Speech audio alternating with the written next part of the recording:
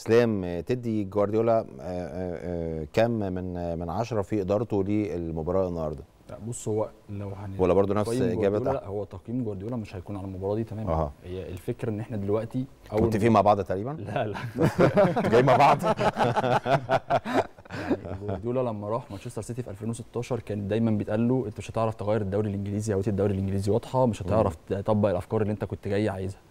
موسم أول ما كانش على المستوى المأمول من مانشستر سيتي وجوارديولا بعد نهاية الموسم مع التدعيمات اللي عملها اكتسح جوارديولا الدوري الإنجليزي حقق الرباعية المحلية مم. عمل كل حاجة كان ناقصه دايما دوري الأبطال. كانوا بيقولوا له إن أنت خلاص أنت حققت دوري الأب... عملت كل حاجة في إنجلترا مش هتعرف تكسب دوري الأبطال. هي دي المسابقة دايما اللي عصيه عليك. وزي ما محمد مصطفى قال إن أنت هتفضل في عباءة ليونيل ميسي. جوارديولا النهارده حتى لو المباراة دي آه، واحدة من أقل مباريات مانشستر سيتي في دوري الأبطال بس هو كسب دوري الأبطال بدون بس الماتش كان. متعة جدا جدا جدا جداً، جدا. يعني كان ممتع لأن آه. إنتر نفسه اللي الناس كانت بتشوف إن هو نسبته 25% بس في إن هو حقق لقب دوري الأبطال كان قاب قوسين أو ادنى إن هو يتعادل يعني يتعادل وكان ممكن كمان يتقدم أصلا قبل الهدف اللي سجله رودري لكن كان. كان لاوتارو ضيع فرصة مم. وكان ممكن يتعادل بعدها مباشرة وضيع لوكاكو فرصة وصد فرصة أصلا لفرقته وضيع فرصة تاني في الدقائق الأخيرة فهو انتر عرف يخلي مانشستر سيتي ما يظهرش بأفضل صورة ممكنة أو الصورة اللي الناس كلها كانت متخيلها لمانشستر سيتي. الناس قبل الماتش تقول لك أربعة وخمسة